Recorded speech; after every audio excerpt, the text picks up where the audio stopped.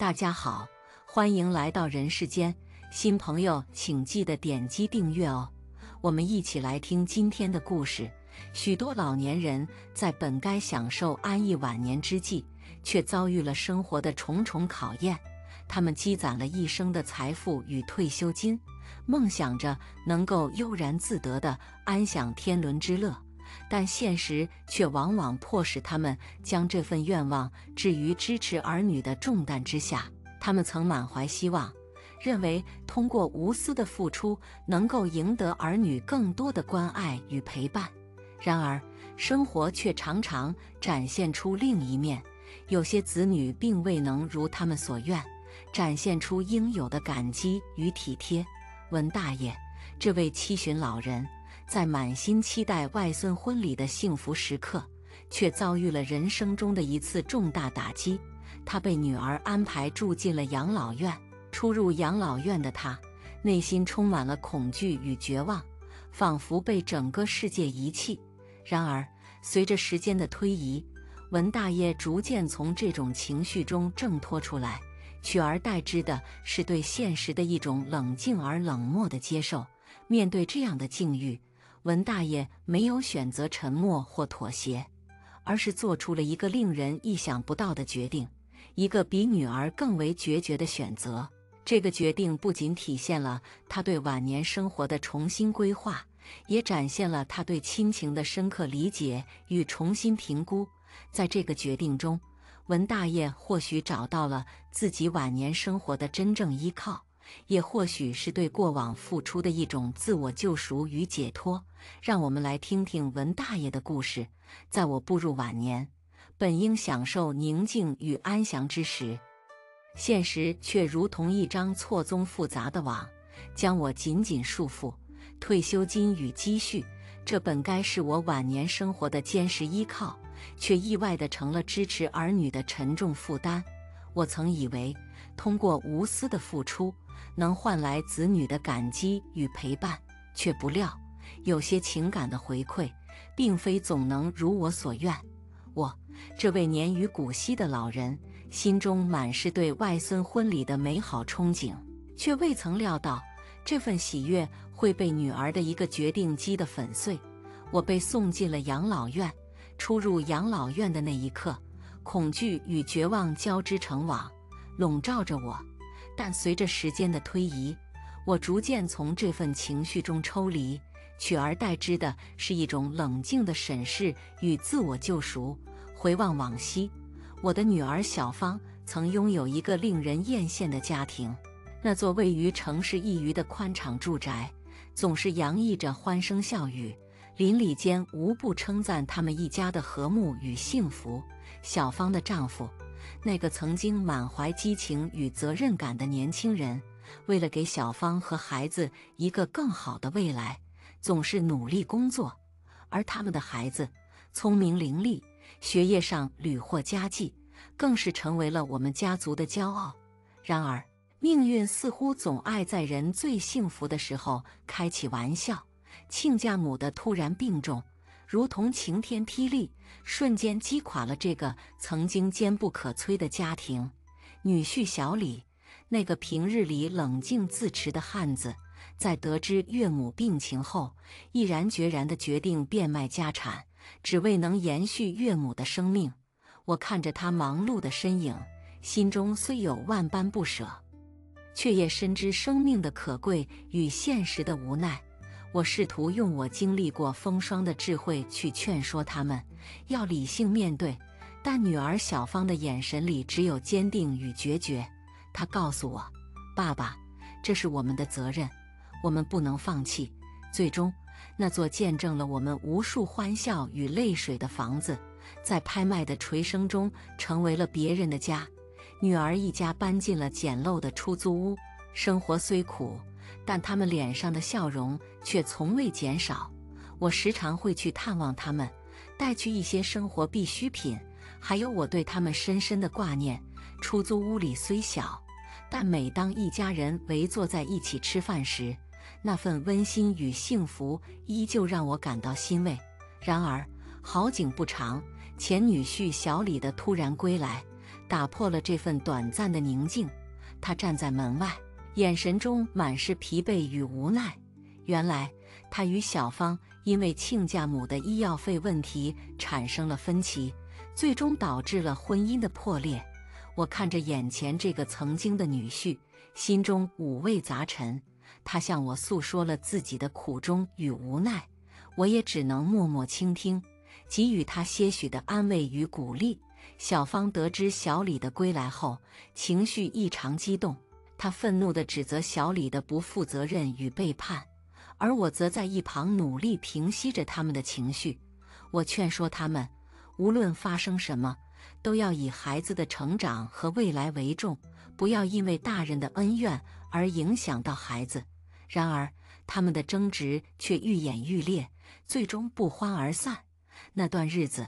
我的生活再次陷入了混乱之中，我既要照顾好自己的身体，又要时刻关注着女儿一家的动态。我尝试着用自己的方式去调解他们之间的矛盾，但往往力不从心。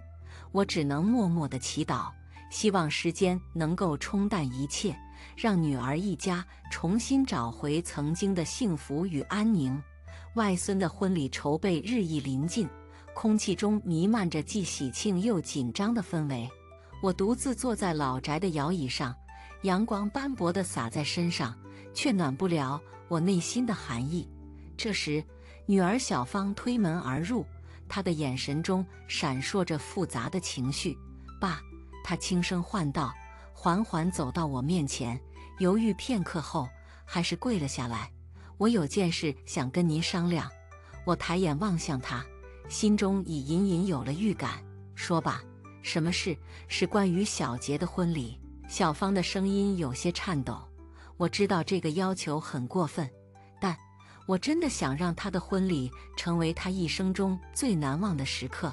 现在我们的条件，您也知道，只有您这里的房子能撑得起那个场面。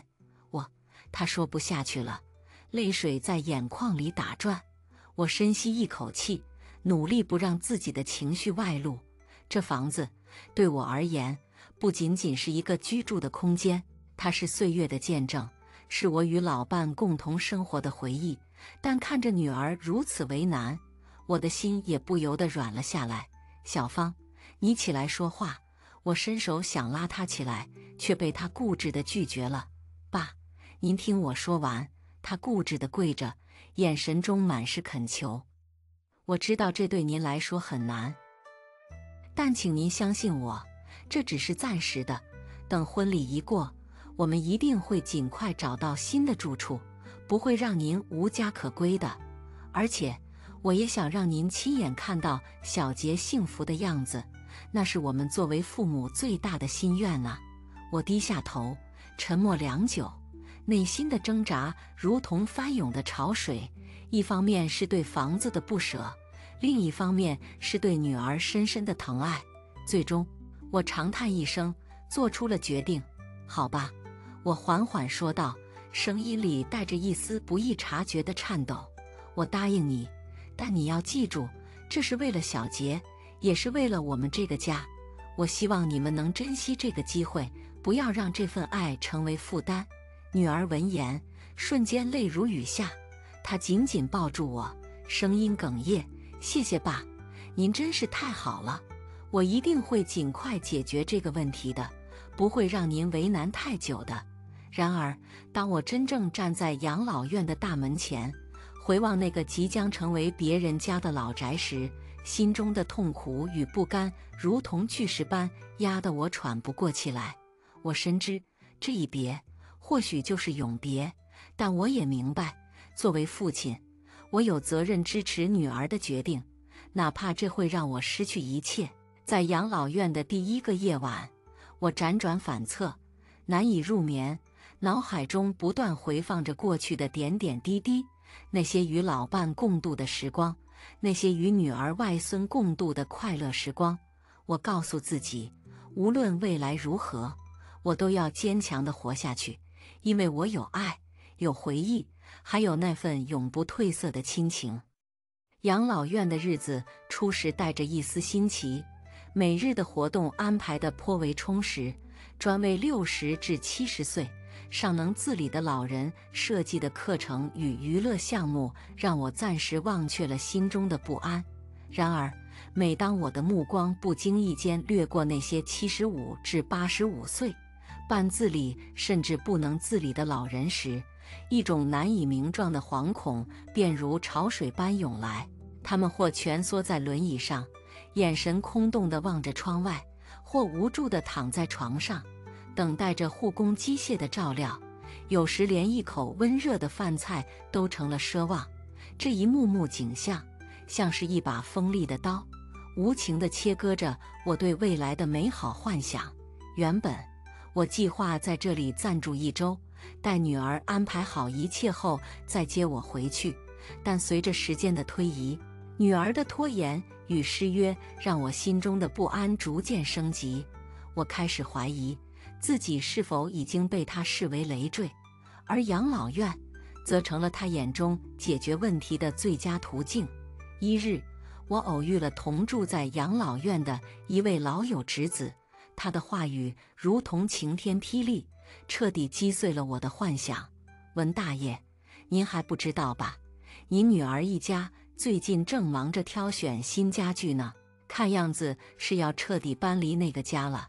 侄子的话语中带着几分同情与无奈，而我却只觉得心如刀绞，愤怒与失望交织成一张密不透风的网，将我紧紧束缚。我决定立即回家，找女儿问个明白。推开家门的那一刻，迎接我的不是温暖的怀抱。而是女儿和女婿那略显尴尬的微笑和虚伪的讨好，我怒不可遏，多年的压抑与委屈在这一刻彻底爆发。你们就是这样对待自己的父亲的吗？为了救治亲家母，不惜卖房，如今却轻易地将我送入养老院，你们还有没有良心？我大声质问，声音因愤怒而颤抖。女儿试图解释。但他的每一个字都显得那么苍白无力，女婿则在一旁默不作声，脸上写满了尴尬与无奈。夜深沉而寂静，只有窗外偶尔传来的虫鸣打破了这份宁静。我坐在沙发上，双手紧握成拳，指节因用力而微微泛白。客厅的灯光昏黄，将我的影子拉得长长的。仿佛也在诉说着我的孤独与无助。爸，您听我们说，女儿终于打破了沉默，她的声音里带着几分哀求和不安。她缓缓走近，试图拉住我的手，但我却猛地一缩，避开了她的触碰。说什么？说你们有多无奈？说你们都是为了我好？哼，说的好听。我冷笑着，眼神锐利如刀。直视着他们的眼睛，你们可曾想过我的感受？可曾问过我是否愿意待在这里？女婿在一旁，脸色尴尬，他轻咳一声，试图缓和气氛。爸，我们确实是有苦衷的。现在房价这么高，我们房价高，那你们当初为什么要卖我的房子？为了救你妈？我理解，但现在呢？你们自己过上了好日子。就打算把我扔在这冷冰冰的养老院。我打断了他的话，情绪愈发激动。别忘了，我也是这个家的一份子，我也有权利决定自己的生活。女儿的眼眶红了，泪水在眼眶里打转，但她强忍着没有让它落下。爸，我们知道错了，我们只是想给您一个更好的环境，让您安享晚年，但没想到会是这样。更好的环境，这就是你们眼中的更好。我指着养老院的方向，声音因愤怒而颤抖。这里没有家的温暖，没有亲人的陪伴，只有冰冷的墙壁和陌生的面孔。你们以为这就是我想要的吗？沉默了片刻，女儿突然跪了下来，泪水再也忍不住，如断线的珍珠般滑落。爸，对不起，真的对不起。我们错了，我们会改的，请您给我们一个机会，让我们接您回家，好吗？我看着女儿，心中五味杂陈。她的真诚与悔意让我动容，但心中的伤痛与失望却难以轻易抹去。最终，我失去了理智，将他们赶出了家门。门重重关上的那一刻，我仿佛也关上了与过去的一切联系。我坐在空荡荡的客厅里，四周的一切都那么熟悉，却又那么陌生。我的心像被掏空了一般，空落落的。我陷入了深深的思考，关于亲情、责任、未来，每一个问题都像是一座大山，压得我喘不过气来。而就在这时，我的脑海中突然浮现出侄子的身影，他孝顺、懂事，总是能在我需要的时候给予我支持与安慰。或许将房子留给他，让他为我养老送终，是一个不错的选择。但我又担心，这样的决定会对外孙的未来产生影响。我陷入了两难的境地，不知道该如何抉择。我决定将房子留给侄子。让他为我养老送终，这个决定既是对侄子孝心的肯定，也是对我晚年生活的一种保障。同时，我也希望女儿和外孙能够理解我的苦衷，明白我并非无情无义之人。在人生的最后阶段，我选择用自己的方式去守护那份来之不易的亲情与安宁，探讨生命活力的源泉，静养还是运动。中老年健康之道深度剖析：一、长寿之药，静养 vs 运动。步入中老年，不少人或许认为骨骼渐脆、行动迟缓，加之慢性疾病的风险上升，选择静养更为稳妥。然而，这一观念在钟南山院士等健康典范面前显得尤为片面。八十六岁的钟老。以他强健的体魄和旺盛的精力，生动诠释了运动对于延缓衰老、促进健康的非凡价值。科学研究亦为此提供了有力支撑。挪威科技大学的一项长期追踪研究显示，持续运动能够显著提升六十至七十岁老年人的体能与心肺功能，进而促进大脑健康，降低认知障碍风险。并减缓大脑萎缩速度。此外，另一项大规模研究揭示，日常步数与多项身体素质指标高度相关，即便是微量的步行增加，也对健康大有裨益。因此，对于中老年人而言，适量运动无疑是维护生命活力的关键。二、运动之意，六十岁后的黄金收获，坚持运动。尤其是步入六十岁之后，将为身体带来四大显著益处：抗癌助力，运动能够创造抑癌环境。一项针对前列腺癌患者的研究表明，定期运动可显著改善整体健康状况，并有助于抗癌。心血管守护。韩国的大规模研究显示，六十岁及以上老年人坚持锻炼能显著降低心血管疾病风险。通过调节心率、血压及血脂水平，保护心血管健康。认知保护运动使大脑保持活跃，延缓记忆力衰退，有效预防老年痴呆等神经退行性疾病。骨骼强化。运动促进骨骼血液循环，减少钙质流失，增强骨密度与关节灵活性，预防老年性关节炎。三、钟南山院士的运动养生之道。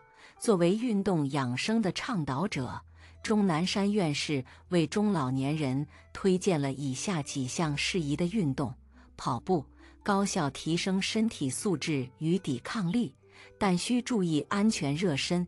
避免过量运动，游泳全面提升心肺耐力，减轻关节负担，但需根据个人健康状况谨慎选择。太极以柔克刚，适合老年人锻炼，对心脏负担小，同时增强身体柔韧性。四、运动需谨慎，避免三大误区：过量行走，追求步数而忽视身体承受力。可能损害膝关节，建议每日步数控制在合理范围内，空腹晨练。早晨血液粘稠度高，空腹运动风险大，建议适量进食后再进行锻炼。长时间跳舞虽能愉悦身心，但过度跳舞易致关节磨损，应控制跳舞时长，并做好热身准备。总之，中老年人运动应量力而行，适度为宜。在享受运动带来的健康益处的同时，也要避免陷入运动误区。记住，运动是生命活力的源泉。让我们从今天开始迈出健康的第一步吧。好了，今天的分享就到这里了。如果对你有帮助，不要忘记点赞和开启小铃铛。期待与您的再次相遇。